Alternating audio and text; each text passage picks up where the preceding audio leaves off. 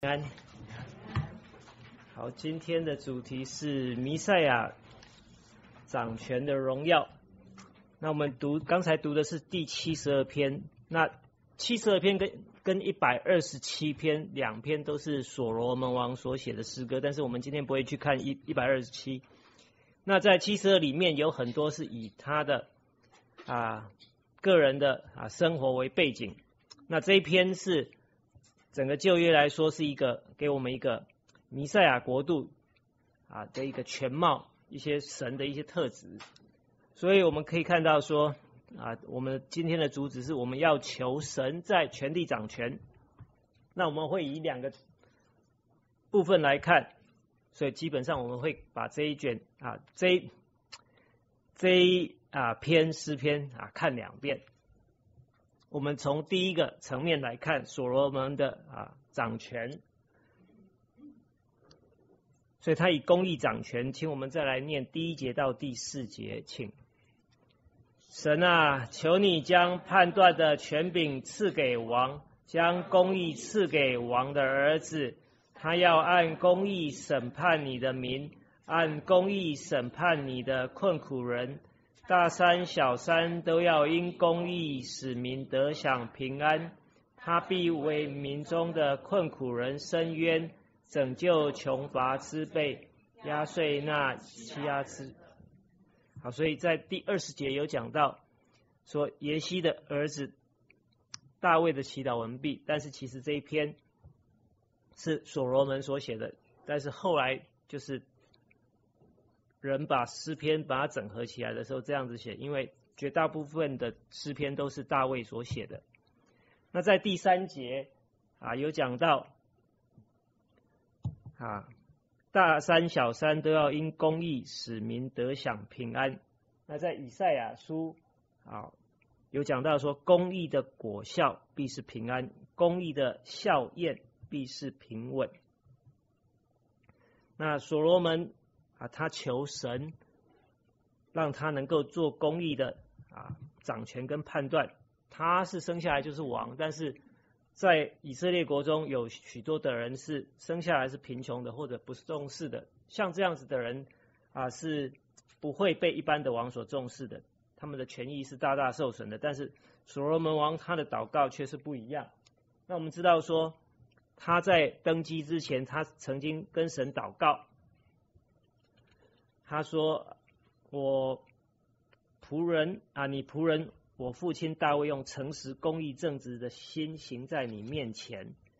然后他又跟神求智慧啊，为了要可以判断啊神的啊民，或者说在他国家的民。在十三节啊，我们可以看到。”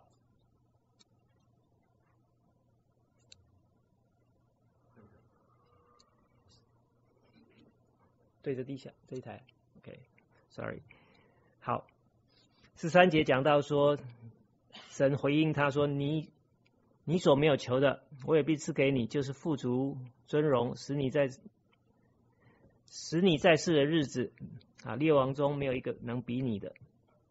所以，如果所罗门他以有求智慧的话啊，就是要有智慧，他才能够做出啊正确的啊公义的判断。”那同样的，神也要全天下掌权的王都以啊公义啊来掌权。譬如说啊提摩太前书讲到说，我劝你第一要为万人恳求、祷告、代求、祝谢，为君王和一切在位的啊也该如此，使我们可以前进前端正、平安无事的度日。那接着所罗门他的祷告是以平安掌权，我们来读五到七节，请。太阳还在，月亮还在，人要敬畏你，直到万代。他必降临，像雨降在已割的草地上，如甘霖滋润田地。在他的日子，一人要发旺，大有平安，好像月亮长存。所以太阳跟月亮长存。他们是在亚当之前就被造了，到了所罗门的时代月亮还在，在我们这个时候，月亮也还在，所以他们存留了许多的世代。所罗，所以所罗门王他是求说，在未来世代的人呢，要敬畏神啊，或者说弥赛亚。那这里的第六节讲到说割草啊，就像牧草一样，割下来可以喂马或者是喂牛等等的动物。那这里所讲到的是在割完之后又有下雨啊，这个雨是指的很大的雨，滂沱大雨。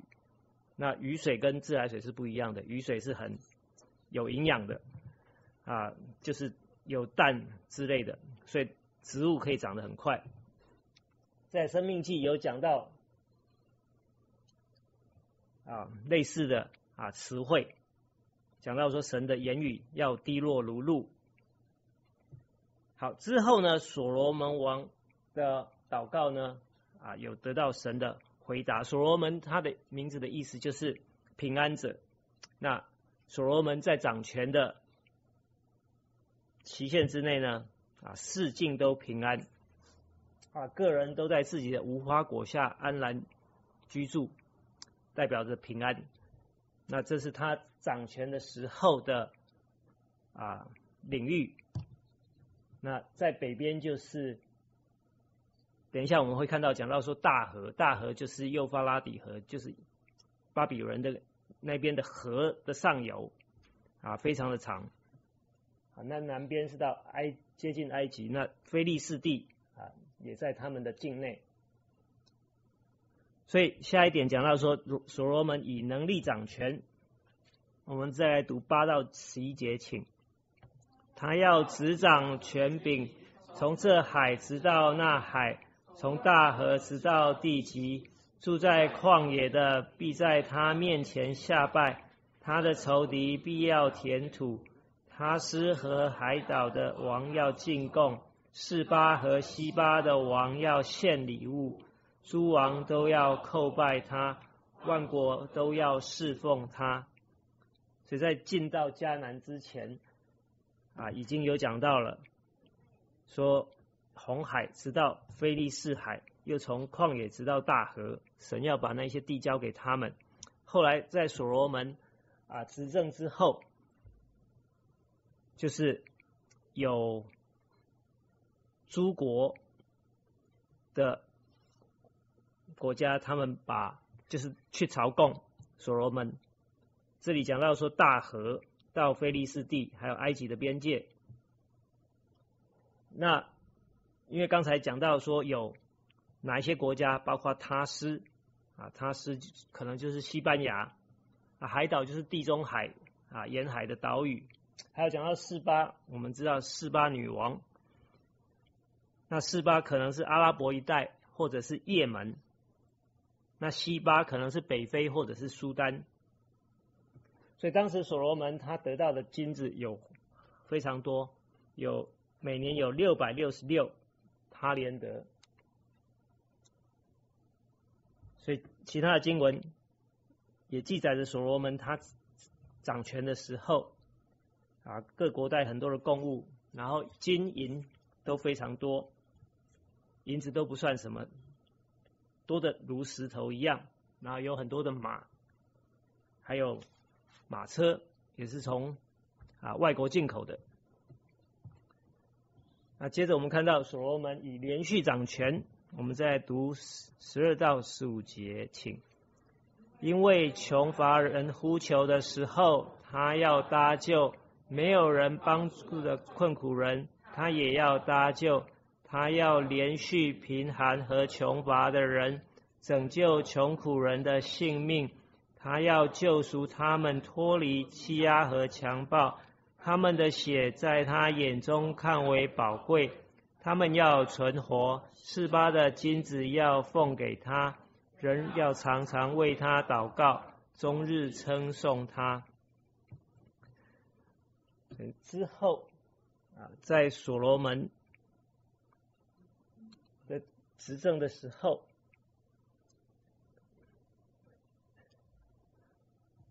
啊，讲到说他的掌权，就是两个妇人把小孩子带去，他们争说那个妇人，呃，那个小孩子是他的，但是他是以智慧掌权，以公义掌权，从这这个方面，应该也是可以说是连续，同时并存。所以神顾念啊，受欺压的跟弱势的，他们来对他来说也是非常宝贵。那我们也要问我们自己啊，是不是对这些人也有连续的心呢？接着我们看到是啊，所罗门以富足掌权。我们再来读十六到十七，请在地的山顶上，五谷必然茂盛。所结的果实也要响动，如利巴嫩的树木，要发旺，如地上的草。它的名要存到永远，要流传如日之久。人要因他蒙福，万国又称他有福。我们知道这个当然不是讲所罗门他自己，但是我们先以啊物质层面来讲。这里是讲到说，全地充满了五谷，甚至长到了山山顶上，平地不止平地，还有山上。那这些谷物的果实，就是说像啊麦子，就是麦粒、麦穗，在风吹过之后，啊刷刷沙沙沙的响声很大声，就像啊树林啊被巨大的风啊所吹动的一样，响声很大。所以，当食物增多的时候，啊，人口就就增多，就像草一样快速的生长。那之后有记载到，水所罗门王他的人民像海边的沙那样多，他还有很多的积货城，很多的仓库，啊，存放着粮食。那这边讲到说，所罗门求。神荣耀的掌权，我们来读十八到二十，请。独行其事的耶和华以色列的神是应当称颂的，他荣耀的名也当称颂，直到永远。愿他的荣耀充满全地。阿门，阿门。耶西的儿子大卫的祈祷完毕。好在其他的经节有讲到神是。啊，至圣至荣，或者说讲到遍地要被他的荣耀所充满，以及颂赞啊神到永永远远，他最后以阿门阿门来结束。好，所以这是第一个部分啊。第二个部分，我们啊从弥赛亚的角度啊来看啊第一节啊我们就不重复念，在这个地方。我们可以看到，说在列列王记上讲到神跟所罗门说：“你若效法你父大卫，结果就是会有人继续坐在大卫的座位上。当然，这不是人，人不可能永远掌权，只有啊弥赛亚或者耶稣基督才能够永远掌权。所以基本上说来说，就是所罗门的掌权，但是是预期。”未来弥赛亚的掌权，那我们来读啊这几节耶利米书，请耶和华说：日子将到，我要给大卫兴起一个公义的苗裔，他必掌王权，行事有智慧，在地上施行公平和公义。在他的日子，犹大必得救，以色列必安然居住。他的名必称为耶和华，我们是好。那接着我们再来读希伯来书，请论道子说：啊，你的宝座是永永远远的，你的国权是正直的，你喜爱公义，恨恶罪恶，所以神就是你的神，用喜乐油膏你，胜过高你的同伴。所以在第一节，我们刚才讲到说，讲到说王的儿子，那耶稣基督他生下来就是王。当耶稣基督上十字架之前，比拉多问他的话说：“你是王吗？”耶稣跟他回答说：“啊，你说我是王，我为此而生。所以耶稣基督他生下来啊就是王。那在看完所罗门的掌权之后，我们可以想想象。帮帮助我们了解未来啊弥赛亚的掌权。那我们来看到这个地方啊，但以理书跟启示录有讲到说，因为我们讲到千禧年国度是在地上，但是耶稣基督带着啊众天使下来，或者是教会下来之前，在天上的时候，就有很多的赞美。在启示录这边讲到说，啊，又叫他们成为国民，做祭司归于神，在地上执掌王权。那但以理书讲到说，就是驾着天云而来，然后下到地上来。十四节讲到说，得了权柄、荣耀、国度，使各方各国各族的人都侍奉他。他权柄是永远的。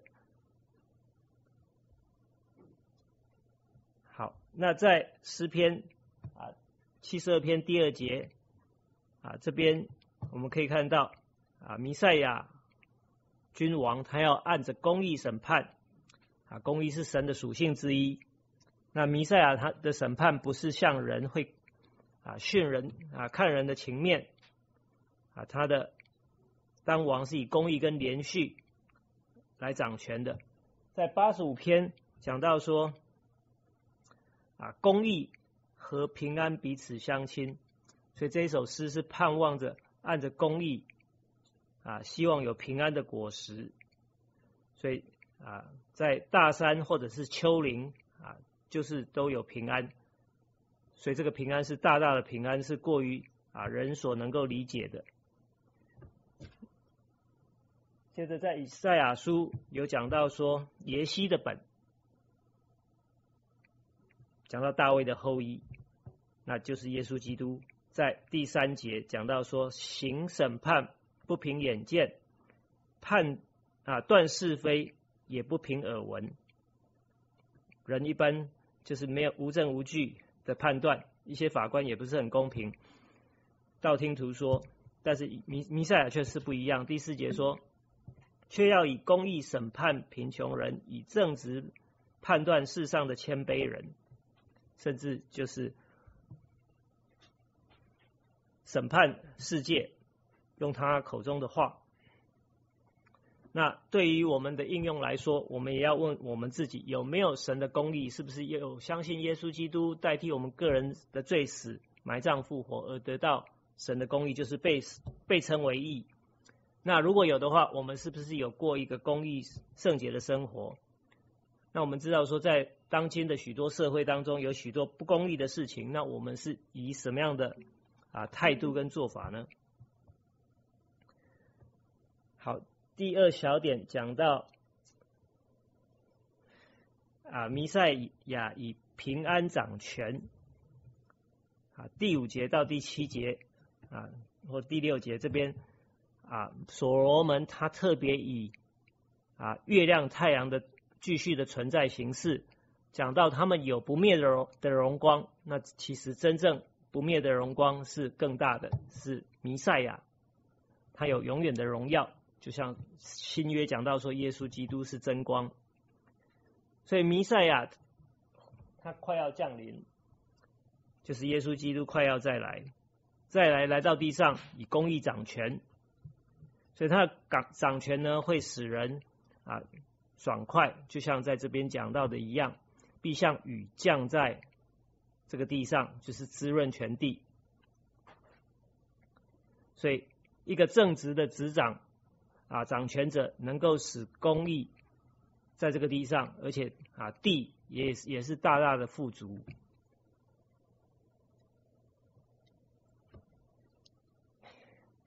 好，萨穆尔记有讲到说。大卫，以下是大卫末了的话，在第三节讲到说，那以公义治理人民的敬畏神执掌权柄，他必像日出的晨光，如无云的清晨，雨后的晴光，使地发生嫩草。所以这个是啊平行经文，跟我们刚才所读的啊诗篇啊七十五七十二篇第五第六节啊是平行经文。在这个地方是讲到说，强调说割过的草，然后就是受到刺激发芽，来比喻讲到人民的增多，讲到一样的事情。所以我们也可以求神，我们的祷告是求神让人敬畏神，还有教会的背提以及与主再来。但是在这些事情发生之前，就是人要先认识耶稣基督，认识耶稣的人也要过敬虔的生活。好，第七节讲到啊，一人要发旺，大有平安。那所以这个是啊，有个人的平安，也有社会以及啊国际之间的平安。所以真正的啊世界和平才是。在千禧年国度才是真正的和平。在以赛亚书有讲到说，啊，他们要将犁刀打成犁头，把枪打成镰刀。这国不举刀攻击那国，他们也不再学习战事。所以地上有大大的平安。那在今天我们的平安是什么？心心里的平安，属天的平安是没有人可以夺走的，就是透过住在我们的里面的圣灵所给我们的。第三个，弥赛亚以能力掌权，啊，他要执掌权柄，从这海直到那海，从大河直到地极。在撒加利亚书第九章第十节讲到说，他的权柄必从这海管到那海，从大河管到地极，所以他的国界是远超世界。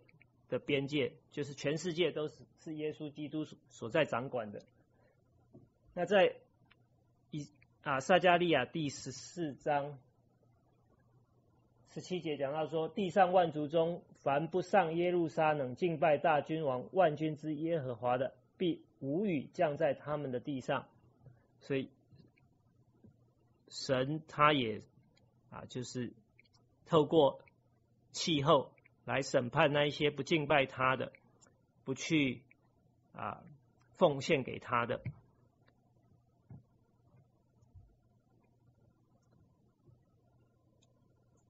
在诗篇七十二篇第九节到第十一节啊，讲到啊他们的奉献，以及诸王都要啊填土，说仇敌必要填土，填土这个。字啊，原本的意思就是放在其他文章是讲到公牛的填草吃草，所以在圣经里面的意思就是啊一个象征，象征是完全的被打败，就像新约其他地方讲到说，万期都要跪拜，万口都要承承认耶稣基督是主，所以不管远近的王，无没有一个例外，通通都要到耶稣基督面前来敬拜他。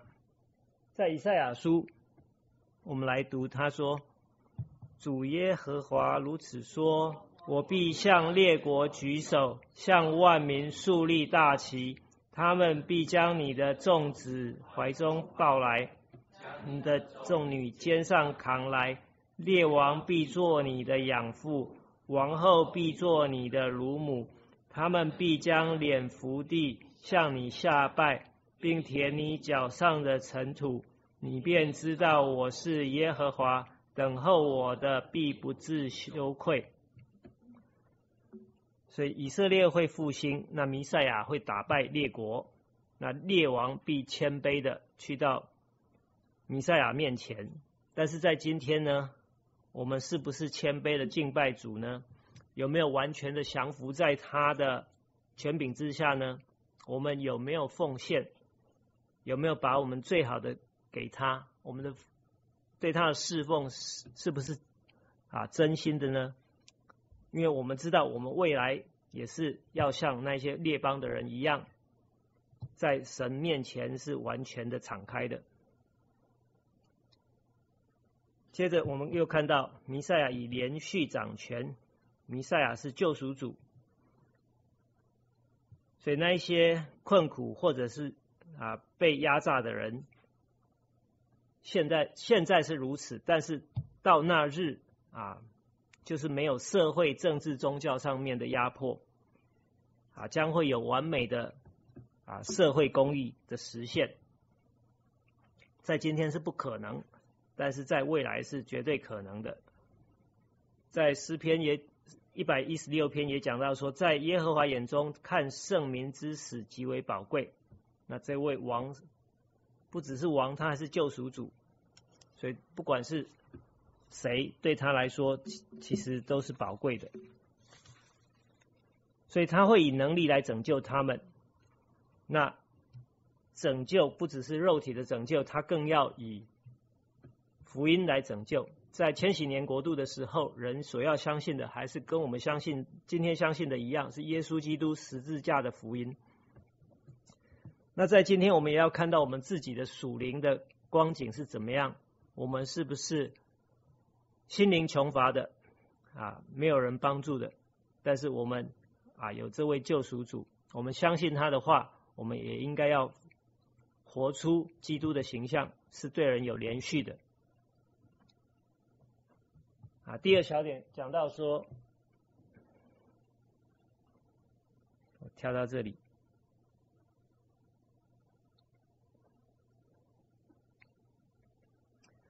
人要终日啊称颂弥赛亚，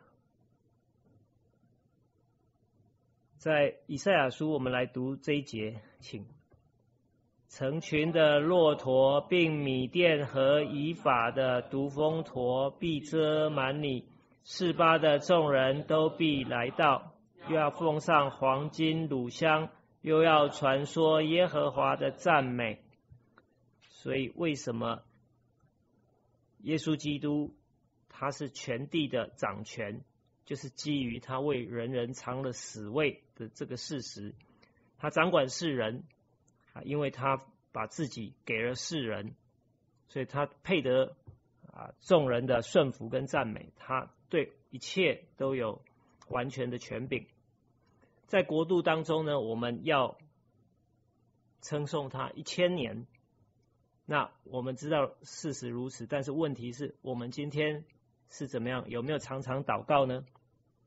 这是我们要问我们自己的。第五个啊，弥赛亚以副主掌权，人要因弥赛亚蒙福。所以在十六节这边讲到的这些盼望，还以还有以上的这些，会在以色列复兴的时候会应验。那经济，他们的经济会复苏，也会一无所缺。所以在那一年一千年当中呢，农夫们都会很忙，需要会需要很多的工人。就像在啊其他的经文讲到说，啊禾场必满了麦子，然后耕种的必接续收割的，踹葡萄的必接续撒种的。非常的忙碌，跟一般的现在的气候不一样，所以气候会大大的改变，所以植物生长的啊时间也不一样，就非常的啊量啊很大的量产啊。第二小点讲到说，人要因弥赛亚他自己蒙福。那大君王弥赛亚的千禧年国度当中呢，他是超乎万民之上的名。他的名要永远的流传。在腓立比书，我们来读，请。所以神将他升为至高，又赐给他那超乎万民之上的名，叫一切在天上的、地上的和地底下的，因耶稣基督不屈膝，口称耶稣基督为主，使荣耀归于父神。所以这是腓利比书，在他的前文是讲到说耶稣基督的谦卑，讲到说他谦卑，然后死了复活升天，但是这几节所讲到的事情到现在还没有完全的应验。所以什么时候应验？就是在千禧年国度的时候会被应验。在诗篇啊，我们来读八十九篇，请。我一次指着自己的圣洁启示，我绝不向大卫说谎。他的后裔要存到永远，他的宝座在我面前如日之恒一般，又如月亮永远坚立，如天上确实的见证。所以这是讲到大卫的后裔弥赛亚将永远的掌权。那人们会向弥赛亚求农业上的富足，但是更重要的就是人要因弥赛亚本身而蒙福。刚才我们看到第七十篇的第十九节下半段讲到说，人要因他蒙福，万国要称他为有福。那在早在过去，神对亚伯拉罕应许的时候，就说：“我叫必叫你成为大国。”以亚伯拉罕他没有成为大国，但是他后来的国家以色列是有比较大，但是还没有还不够大。第三节讲到说，地上的万族都要因你得福，但以色列人他们过去就是必须要成为万民中的光，引人归向耶和华神。但是他们做的怎么样呢？我们自己都很清楚。那到了耶稣基督。啊，要来到世上之前，玛利亚她的诗歌讲到说，从今以后万代要称我有福。所指的就是讲到耶稣基督的时候会想到他，但是真正的福是耶稣基督的本身，他是一切的祝福的源头。所以我们有啊以马内利的神跟我们同在。第六点。所以我们的神是配得一切的荣耀。那因着他所行的奇事跟公义的掌权，人们会赞美他，全世界的人都会同心合意的啊敬拜父跟弥赛亚。那撒加利亚书，我们来读，请万军之耶和华如此说：将来必有列国的人和多城的居民来到，这城的居民必到那城说。我们要快去恳求耶和华的恩，寻求万军之耶和华。我也要去，必有列邦的人和强国的民来到耶路撒冷，寻求耶和之耶和华，恳求耶和华的恩。万军之耶和华如此说：在那些日子，必有十个人从列族或诸族中出来，拉住一个犹太人的衣襟，说。我们要与你同去，因为我们听见神与你们同在了。所以在未来啊所发生的事情，万军之耶和华在圣经里面常常是讲到神的大能以及他的审判。刚才我们已经讲到说，在末世的时候，在千禧年国度当中的时那个期期限期间的时候，列国的人如果他们不敬拜神的话，行恶的话，神会降下天灾来刑罚他们，所以他们要来朝朝贡，去到耶路撒冷，就是现在的耶路撒冷。但是当然到未来的时候会有啊地形地貌的啊完全的大大的改变，所以他们大家都要去那边朝见神，因为有神的同在，有神的祝福。所以这是这个虽然是在未来的事情，全地要颂赞耶和华的名，但是我们今天能做的就是要领人啊归主。所以我们来回顾一下我们刚才所看到的啊弥赛亚荣耀的啊掌权的荣耀或者荣耀的掌权。我们主旨讲到说我们要求主在权力掌权，我们看到了所罗门他以公义。平安、能力、连续、富足来掌权。那我们看到弥赛亚的掌权啊，那我们应该怎么做？我们应该祷告，当今的各国的领袖都能够以公义的来掌权执政，并且是连续的。啊，弥赛亚的啊公义的掌权，我们看到这是公义是神的属性。那耶稣在登山宝训里面也讲到说，你们要先求神的国和神的义。那我们要相信福音，而得到神的公义，也活出公义的生活。以及弥赛亚以平安掌权，啊，所罗门王的名字是平安者，但是真正的完全的平安是耶从耶稣基督而来的，他是平安公义的王。那我们今天也可以有这个平安，就是。相信耶稣基督得到圣灵，未来弥赛亚是以能力掌权，我们就不再重复。第四点讲到他是救赎主，他是迷失的人跟穷乏的人的帮助啊，他们需要有耶稣基督为救赎主。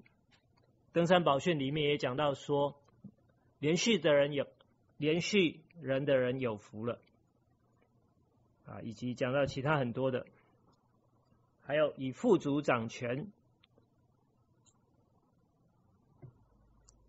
我们大家也都要啊，因因着弥赛亚他本身而蒙福啊。第六讲到啊，荣耀的掌权。好，所以这一些是所罗门王的祷告。那这个是不是我们也是跟他一样祷告呢？我想是的，因为这是讲到未来千禧年的国度的祷告。那其实耶稣基督也有教导门徒们祷告。这是我们很熟悉的，我们再把这个来啊主导文来读一遍，请。所以你们要祷告，这样说：我们在天上的父，愿人都尊你的名为圣，愿你的国降临，愿你的旨意行在地上，如同行在天上。我们日用的饮食，今日赐给我们，免我们的债，如同我们免人人的债，不叫我们遇见试探。救我们脱离凶恶，因为国度、权柄、荣耀全是你的，直到永远。阿门。所以这是这好像又进到另一篇讯息，但是其实，在我们背主导文的时候，我们知道这个是求未来的事情，还有现在的事情，还有神国度的事情，以及我们个人的事情。譬如说，你看第九节讲到说，愿人都尊你的名为圣，就是讲到人能够敬畏神，像所罗门是如此的祷告。那在十一节讲到说，赐给我们日用的饮食，所罗门的祷告是怎么样？是富足，对不对？这些雨水滋润遍地，然后有很多的粮食，那神。供应我们一切所需，在未来更是大大的供应。十二节讲到说免了我们的债，讲到连续，啊，不叫我们遇见试探，就我们脱离那二者，二者就是撒旦魔鬼，魔鬼啊，撒旦会被捆绑一千年，神以他的能力把他捆绑，所以撒旦的影响在一千年当中的影响非常的小，所以人可以大大的。啊啊！荣耀神，敬拜神。那希望啊，这篇诗篇是帮助我们啊，更加的啊理解到未来的事情，并且帮助我们能够为这些事情来祷告。那我们来做一个祷告。现在天父上帝，我们感谢你，透过诗篇第七十二篇，我们看到未来的光景，未来的图画。当弥赛亚从地上啊，从天上带领着教会，就是我们来到地上掌权的时候，将会是一个什么样的情况？到处是充满了和平、公义，以及许许许许多多属神的特质。因为有耶稣基督在我们当中掌权，我们也与你。啊，做王一千年，就像使徒们一样，啊，来侍奉你，来做一些啊事情，也引领一些不认识你的人，能够去到你的面前。在国度当中，还有许多的人会出生，但是他们不是生下来就是信徒，他们还是需要去到你的面前来认识你。我们感谢你给我们你宝贵的应许以及荣耀的盼望。愿我们今天在世上的时候，我们也能够潜藏这些滋味，也知道怎么样来过我们应该过的生活，能够容神一人，帮助我们在座的每一位，也让我们能够不住的祷告。把这些事情放在我们的生命当中为首位。我们这样的祷告，奉耶稣基督的圣名祷告。